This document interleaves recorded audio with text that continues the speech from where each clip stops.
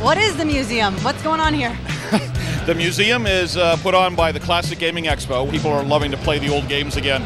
So we have a museum here with the classic arcade games. We have the classic console games people played at home, the Atari, the ColecoVision, the Intellivision, and we're bringing it all back. Now, I've heard of this, never seen it. What the hell is Pong? It's just ping pong with paddles going up and down. And this game got so popular by the mid 70s, everybody knew what a video game was because of learning right here on Pong. Here we are at Pac Man, something I can actually play. Pac Man was kind of credited with bringing women into video games. Like The psychologists say it's because it's not a shoot 'em up game, it's an eating game. Now we're looking at the Apple II.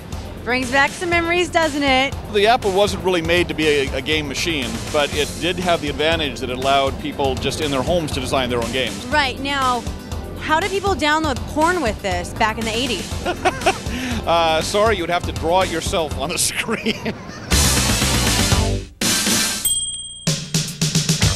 well, we are here in the Intellivision living room. This is where I hang out. And this is the Intellivision console, and this is where I started in video games back in 1981. So it was the rival to the Atari 2600. So what makes it better?